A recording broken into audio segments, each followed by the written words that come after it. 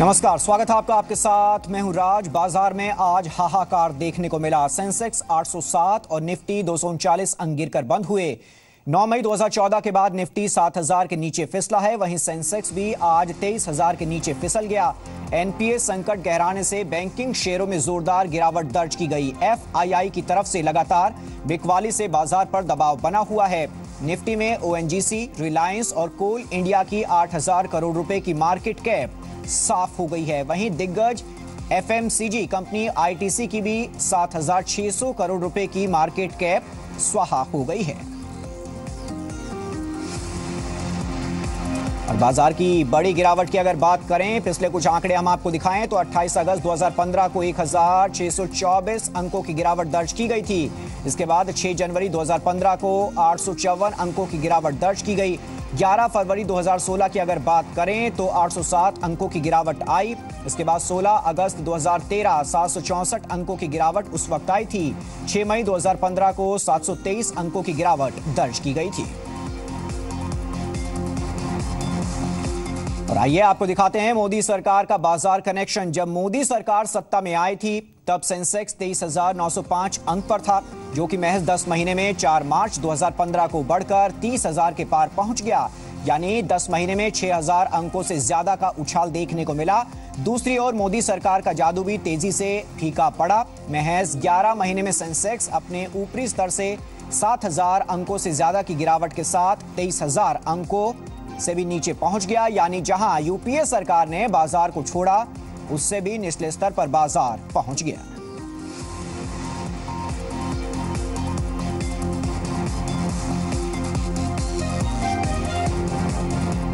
और बाज़ार में गिरावट क्यों आ रही है? इसकी 10 बड़ी वजह अब हम आपको दिखाने जा रहे हैं। बाज़ार गिर रहा है और इसी वजह से लाखों करोड़ रुपए डूबता जा रहा है। 10 बड़ी वजह क्या हैं? ये आपकी टीवी स्क्रीन पर। विदेशी बाजारों से बेहद कमज़ोर संकेत मिले। इसके अलावा खराब तिमाही नतीजों से निराशा हाथ लगी। बैंकों के एनपीए में भारी बढ़ोतरी हुई। ये भी निराशा के कारण रहा। खराब एनपीए से बैंकिंग शेयरों की हालत खराब हुई। तो बाज़ार में गिरावट की ये वजह हम आपको दिखा रहे हैं। मार्च तक एफआईआई बिकवाली बने रहने का अनुमान भी है। इसके अलावा सोने और सुरक्षित बॉन्ड में एफआईआई निवेश बढ़ गया है, जबकि सोने में निवेश बढ़ा, एक महीने में दाम 10 फ़ीसदी से ऊपर चले गए। जनवरी में एमएफ इक्विटी में 20 महीने का निचला स्तर देखने को मिला। तो ये सभी बड़ी वजह हैं जिसकी वजह से शेयर बाज़ार लगातार नीचे आ रहा है। आगे बढ़ते हैं वीडियो कॉन्फ्रेंसिंग के ज़रिए। गवाही दे रहे डेविड कॉलमैन हेडली ने एनकाउंटर में मारी गई इशरत जहाँ को लश्कर की आतंकी बताया है। हेडली के इस खुलासे के बाद बीजेपी विपक्ष पर हमलावर है और इशरत जहाँ के समर्थन में बयान देने वालों से माफ़ी मांगने की मांग कर रही है।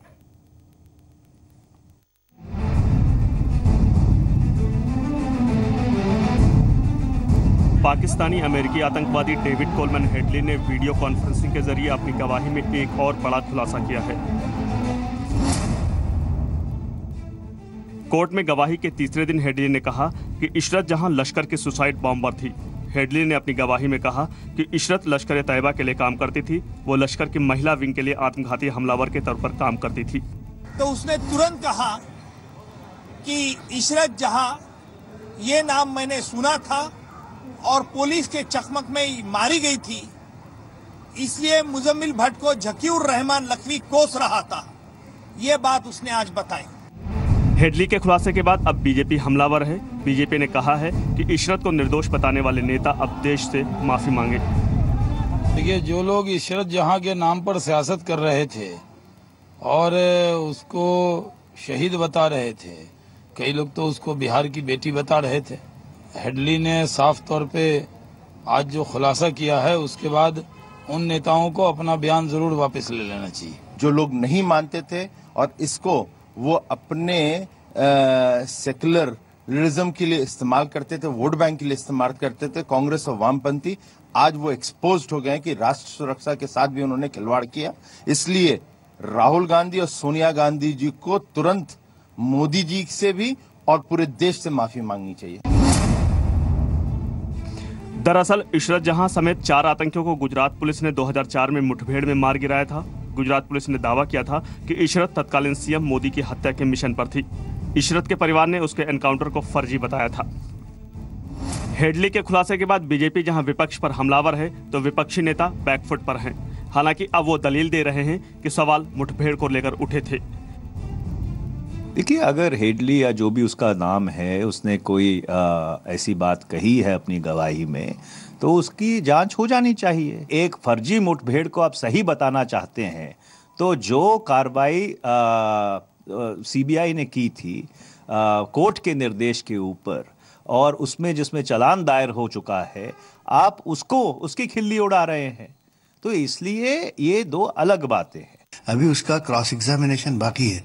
उसे क्रॉस किया जाएगा और अब वो चूँकि यहाँ हमारे कब्जे में नहीं है, वो वीडियो कॉन्फ्रेंस के ज़रिए बोलता है। सुबह तीन चार घंटे बात करता है, उसके बाद उसकी क्या पोजीशन है, कौन उसको अप्रोच कर सकता है, कौन उसको इन्फ्लुएंस कर सकता है, ये तमाम चीज़ों का ख्याल रखने की आवश्यकता होती है। बहरहाल हेडली के खुलासे के बाद इशरत जहाँ केस में एक नया मोड़ आ गया है, अब देखना यह है कि जाँच एजेंसी और अदालत इस बयान पर क्या रुख अपनाती है। Bureau report, India twenty four seven. और इशरत जहाँ के रिश्तेदार रऊफ ने हेडली के बयान को सिरे से खारिज कर दिया है। रऊफ के मुताबिक इशरत जहाँ के एनकाउंटर को कई जाँच एजेंसियों ने फर्जी बताया है, इसीलिए हेडली के बयान में कोई सच्चाई नहीं है।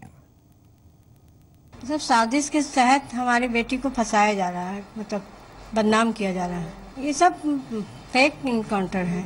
मेरी बेटी को मारा गया है, कत्ल किया पहले कोशिश की गई पाँच सात सवाल के अंदर के हेडली के मुँह से जो है इशरत का नाम निकाला जाए।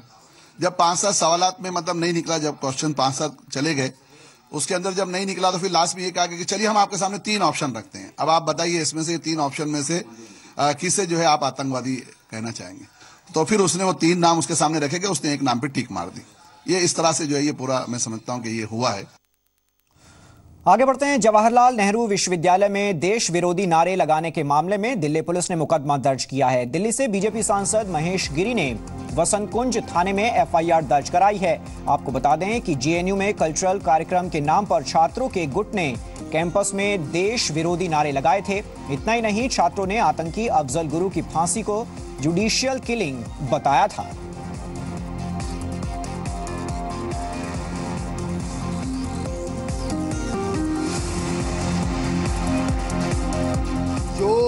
उन्होंने राष्ट्र विरोधी गतिविधियाँ वहाँ पर चलाई एंटी नेशनल और एंटी कॉन्स्टिट्यूशनल भी, क्योंकि जो हैंग किया गया है, वो सुप्रीम कोर्ट का वर्डिक था। और सुप्रीम कोर्ट का जो वर्डिक था, वो इस देश के सुप्रीम है। जाँच के बाद ही अफजल गुरु को फांसी पे चढ़ाया गया था और वहाँ पर उनको मार्टियार की तरह पेश किया गया। ये एंटी कॉन्स्टिट्यूशनल भी है। और राष्ट्र विरोधी जो नारे लगाए हैं, वो बर्दाश्त नहीं किए जाएगा। अगर ऐसी गतिविधियाँ जेएनयू में चल रही है तो वीसी ने उसकी एनओसी क्यों दी? ऐसे कई सवाल खड़े हो रहे हैं। मैं एफआईआर लॉन्च कर रहा हूँ। हमारा सबसे पहला आ, मिशन जो है कि ऐसी कोई भी ताकतें पनप रही है। अगर शिक्षा के केंद्र में तो देश के लिए एक बहुत बड़ा खतरा बन सकती है। और वहीं प्रेस क्लब ऑफ़ इंडिया में बुधवार रात देश विरोधी नारे लगाए गए। आतंकवादी अफजल गुरु और मकबूल भट्ट की फांसी के एक साल पूरा होने पर एक कार्यक्रम आयोजित किया गया था, जिसे कश्मीर के अलगाववादी नेता गिलानी ने मोबाइल पर संबोधित किया। इस कार्यक्रम के लिए प्रेस क्लब ऑफ़ इंडिया के हॉल को दिल्ली विश्वविद्यालय के प्रोफेसर अली जावेद ने बुक कराया था। वहीं देश विरोधी हरकत सामने आने के बाद प्रेस क्लब ने अली जावेद को कारण बताओ नोटिस भेजा है। केंद्रीय मंत्री मुख्तार अब्बास नकवी ने इसे राष्ट्र विरोधी मानसिकता करार दिया है। इससे पहले मंगलवार को जेएनयू में भी देश विरोधी नारे लगाए गए थे।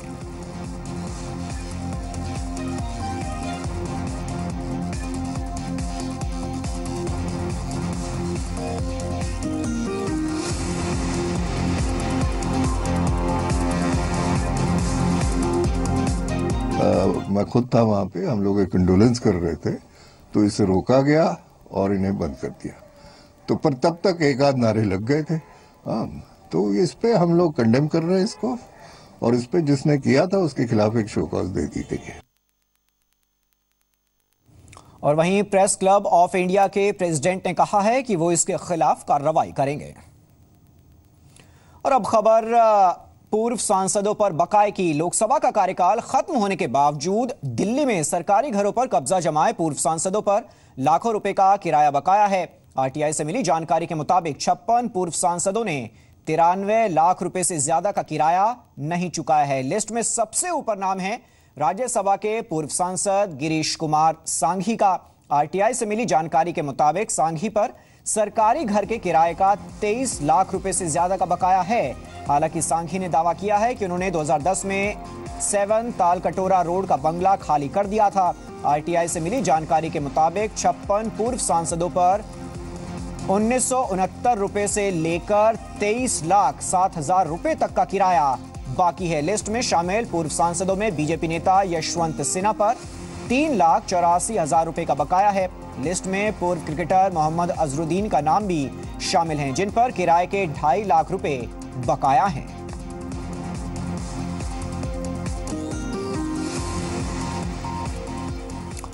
आगे बढ़ते हैं। नेशनल हेराल्ड मामले में सोनिया गांधी और राहुल गांधी की याचिका पर शुक्रवार को सुप्रीम कोर्ट में सुनवाई होगी। सोनिया गांधी ने याचिका दाखिल कर दिल्ली हाईकोर्ट के फैसले पर रोक लगाने की मांग के साथ समन को रद्द किए जाने की मांग की है।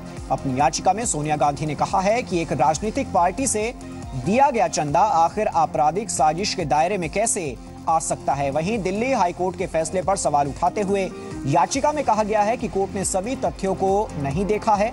सोनिया गांधी ने अपनी याचिका में मांग की है कि पिछले साल 7 दिसंबर के दिल्ली हाईकोर्ट के फैसले को सुप्रीम कोर्ट रद्द करे। साथ ही 26 जून 2014 को निचली अदालत की तरफ़ से जारी समन को भी रद्द करने की मांग की गई है। इसी के साथ याचिका में सुप्रीम कोर्ट से मांग की गई है कि वो निचली अदालत में चल रहे इस मामले को रद्द कर दे। और अब बात यूपी के बजट की। 2017 के विधानसभा चुनाव को देखते हुए यूपी सरकार ने प्रदेश के सूखा प्रभावित इलाकों पर मेहरबानी दिखाई है। अनुपूरक बजट में अखिलेश यादव ने बुंदेलखंड समेत सूखा प्रभावित दूसरे इलाकों के लिए 904 करोड़ का फंड दिया है। बुंदेलखंड में विपक्षी दलों की सक्रियता को देखते हुए मुख्यमंत्री ने यहाँ के विकास का वादा किया था। दरअसल कांग्रेस उपाध्यक्ष राहुल गांधी ने बुंदेलखंड पदयात्रा के दौरान राज्य सरकार से इस इलाके के लिए और बजट की मांग की थी। 23 जनवरी के महोबा दौरे पर पहुँचे राहुल गांधी ने केंद्र और यूपी सरकार पर निशाना लगाया था। उसके बाद मुख्यमंत्री अखिलेश यादव ने बुंदेलखंड का दौरा किया। इस दौरान सीएम ने कहा था कि बुंदेलखंड में विकास करना एसपी सरकार की प्राथमिकता रही है।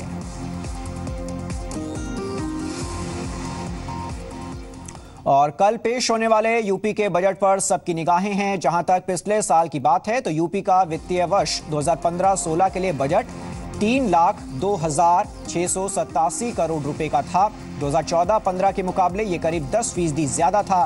पिछले साल सरकार की अनुमानित प्राप्तियाँ दो लाख छियानवे हज़ार करोड़ थी। इसके मुताबिक बजट में करीब छह हज़ार करोड़ के घाटे का अनुमान लगाया गया था। खास बात यह रही कि सरकार ने किसी नए टैक्स का ऐलान नहीं किया।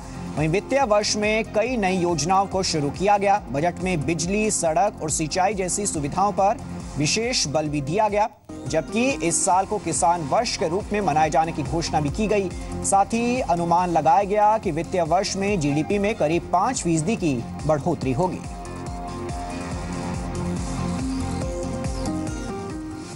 आगे बढ़ते हैं। लखनऊ में कल हुए वकीलों के हंगामे और हिंसा को इलाहाबाद हाईकोर्ट ने बेहद गंभीरता से लिया है। हाईकोर्ट ने इस मामले में लखनऊ की तीनों बार एसोसिएशन से जवाब तलब किया है। इसके साथ ही यूपी सरकार से भी रिपोर्ट मांगी गई है।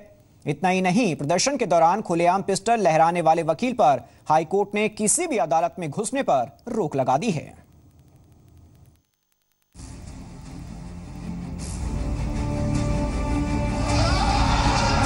ये तस्वीरें बुधवार को लखनऊ की सड़कों पर वकीलों के तांडव की हैं। साथ ही वकील की हत्या का विरोध कर रहे वकीलों ने बुधवार को कई बसों और गाड़ियों में आग लगा दी। इतना ही नहीं, वकीलों ने जमकर तोड़फोड़ की और मारपीट की गई। लेकिन वकीलों के इस उत्पाद को इलाहाबाद हाईकोर्ट ने बेहद गंभीरता से लिया है। इलाहाबाद हाईकोर्ट के मुख्य न्यायाधीश की अध्यक्षता में गठित सात जजों की बेंच ने पिस्टल लहराने वाले वकील विशाल दीक्षित के किसी भी कोर्ट में घुसने पर रोक लगा दी है। हाईकोर्ट ने लखनऊ के तीनों बार एसोसिएशन से रिपोर्ट भी मांगी है। इसके साथ ही यूपी के प्रमुख सचिव गृह से भी रिपोर्ट तलब की गई है। मामले की अगली सुनवाई 18 फरवरी को होगी। हाईकोर्ट ने होम सेक्रेटरी से पूरे प्रकरण की रिपोर्ट मांगी। हाईकोर्ट ने यह भी कहा है कि जो वकील साहब रिवाल्वर चला रहे थे, जिनका फ़ोटो मीडिया में आया है, उनको हाईकोर्ट के प्रांगण या हाईकोर्ट के प्रेमिसेस से रोक दिया गया। सात जजों की बेंच ने स्वतः जो है सोमोटो लेते हुए और इस मामले को जो गंभीरता से लिया और आज सुनवाई करते हुए गृह विभाग के प्रमुख सचिव को इस मामले की पूरी जाँच करने का आदेश दिया है और एक हफ़्ते में जाँच रिपोर्ट को मैं सीसीटीवी फुटेज और टीवी फुटेज और अखबार मीडिया प्रिंट मीडिया के फ़ोटो के साथ पूरी रिपोर्ट मांगी है। इस बीच लखनऊ में हुए हंगामे के बाद गुरुवार को अवध बार एसोसिएशन ने कामकाज बंद रखा।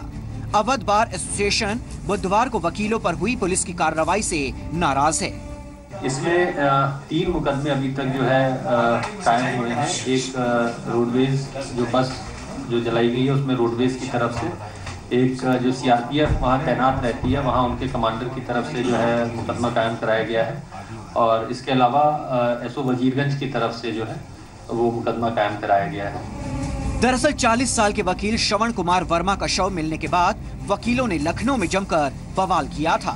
वकीलों का आरोप है कि श्रवण कुमार वर्मा की हत्या के मामले में पुलिस ने कार्रवाई नहीं की। वकीलों ने सरकार से श्रवण कुमार वर्मा के परिजनों के लिए 10 लाख रुपए की सहायता की मांग की थी। अवध बार एसोसिएशन ने चेतावनी दी है कि अगर आरोपियों के खिलाफ जल्द कार्रवाई नहीं की गई तो 15 फरवरी से पूरे प्रदेश के वकील हड़ताल पर चले जाएँगे। बहरहाल, वकीलों की चेतावनी अपनी जगह है, लेकिन कोर्ट ने जिस तरह से वकीलों के खिलाफ कार्रवाई की पहल की है, वो देश भर के लिए एक नजीर है। हाई कोर्ट के रुख से साफ़ है कि कानून से बड़ा कोई नहीं है। फिर चाहे वो कानून की लड़ाई लड़ने वाले ही क्यों ना हो। लखनऊ से विवेक तिवारी, इंडिया 24/7 और दिल्ली से सटे गाजियाबाद में युवती के अपहरण मामले में यूपी एसटीएफ ने भी जाँच शुरू कर दी है। कल अगवा हुई दीप्ति का अब तक कोई सुराग नहीं लग पाया है।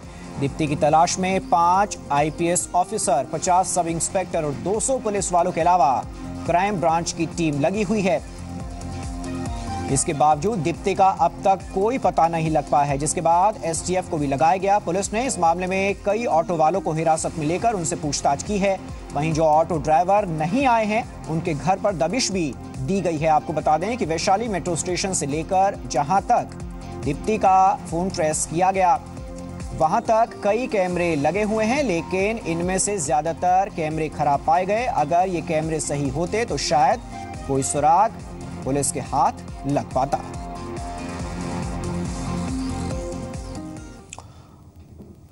और दीप्ति, अपहरण मामले में मुख्यमंत्री अखिलेश यादव ने ट्वीट किया है। सीएम ने ट्विटर पर लिखा है कि मैंने गाजियाबाद के एसएसपी को व्यक्तिगत रूप से मामले की जाँच करने के लिए कहा है। कई टीमें इसमें गठित की गई हैं। आगे बढ़ते हैं। स्नैपडील ने दीप्ति के लापता होने के बारे में ट्विटर ट्वीट किया है जिसमें लिखा गया है कि our friend Deepti Sarna is missing since yesterday please DM any info you are might have and help find dipped.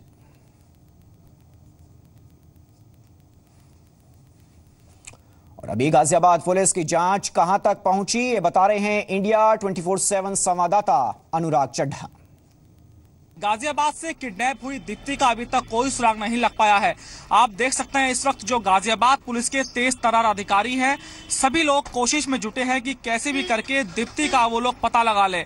जो सूत्रों के हिसाब से जानकारी निकलकर सामने आ रही है, वो यही है कि जो ऑटो गैंग के बदमाश हैं, उन्होंने कहीं ना कहीं दीप्ति का किडनैप किया है और उसके बाद पुलिस ने करीब करीब 10 से 15 किलोमीटर के एरिया में छानबीन की है, लेकिन अभी तक दीप्ति का कोई भी सुराग नहीं लग पाया है। इसके अलावा जो एक मोर्टी गाँव है उसके आसपास का जो जंगल है, वहाँ जितने भी पॉन्ड्स हैं, सभी को पुलिस ने तलाश कर लिया। वहाँ पर द्रोण भी उड़ाकर पुलिस ने देखा था, लेकिन अभी तक कोई भी सुराग पुलिस को नहीं मिल सका है। गाजियाबाद के एसपी सिटी सलमान ताज साहब हमारे साथ हैं, उनसे हम बात करते हैं। सलमान जी इस केस में हमने देखा कि पुलिस ने एडवांस टेक्निक का भी यूज़ किया उस बच्चे को तलाशने के लिए, लेकिन अभी तक इन्वेस्टिगेशन कहाँ तक पहुँची है आपकी?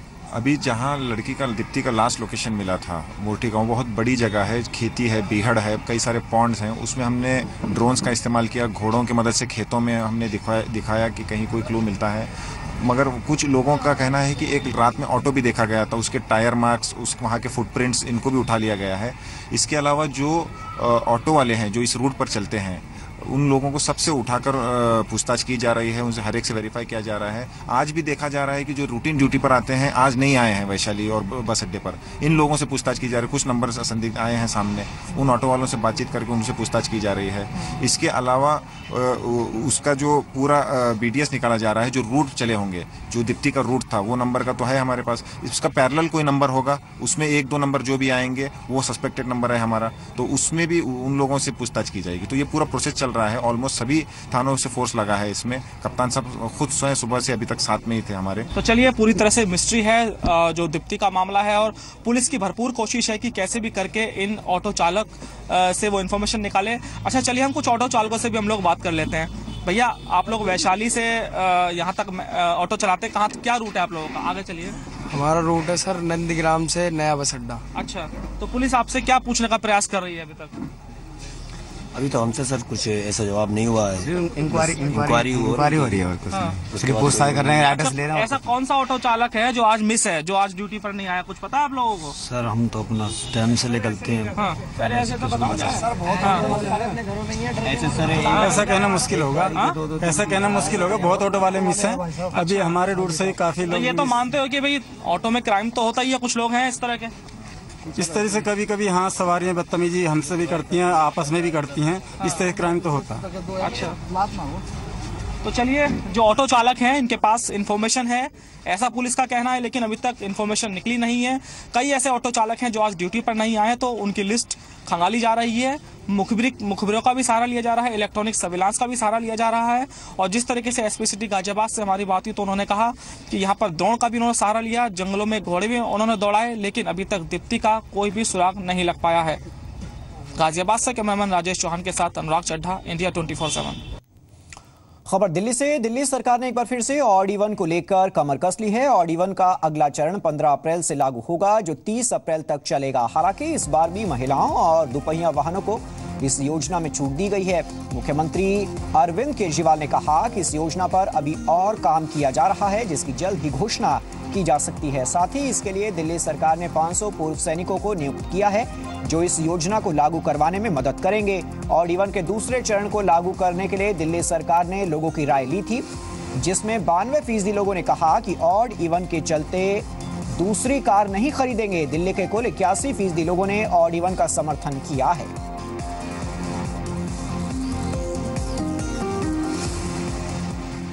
आगे बढ़ते हैं दिल्ली में यमुना किनारे आर्ट ऑफ़ लिविंग की तरफ़ से कल्चरल फेस्टिवल के आयोजन को लेकर नेशनल ग्रीन ट्रिब्यूनल यानी एनजीटी ने नोटिस जारी किया है। एनजीटी ने डीटीए और दिल्ली सरकार को नोटिस जारी कर जवाब तलब किया है। एनजीटी ने डीडीए को आदेश दिया है कि वो प्रोग्राम आयोजन करने वाली जगह का निरीक्षण सात दिनों के अंदर करें और उसकी रिपोर्ट दें। आपको बता दें कि आध्यात्मिक गुरु श्री श्री रविशंकर की संस्था आर्ट ऑफ़ लिविंग अगले महीने यमुना नदी के किनारे वर्ल्ड कल्चरल फेस्टिवल का आयोजन करने जा रही है, जिसका उद्घाटन पीएम नरेंद्र मोदी करेंगे। यमुना किनारे आयोजन को लेकर एनजीटी में याचिका दायर की गई है, जिसमें ये आरोप लगाया गया कि प्रोग्राम के नाम पर पर्यावरण को नुकसान पहुँचाया जा रहा है।